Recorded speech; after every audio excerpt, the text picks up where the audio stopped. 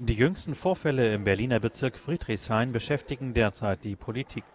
In der Nacht zum Sonntag war hier eine Kundgebung von Linksautonomen eskaliert.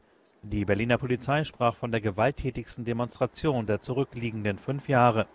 Eine Einschätzung, die der Berliner Innensenator Frank Henkel von der CDU teilt.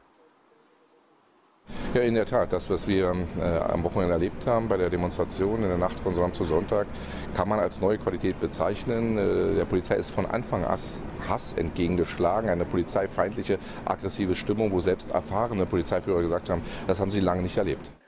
Nach offiziellen Angaben wurden bei dem Einsatz über 120 Polizisten verletzt.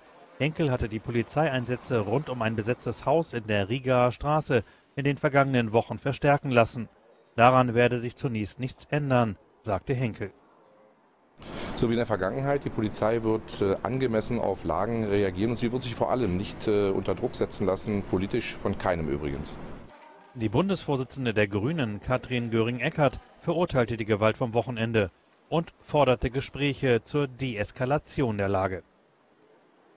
Erster Punkt, es muss friedlich ablaufen. Zweiter Punkt, es muss Gespräche geben.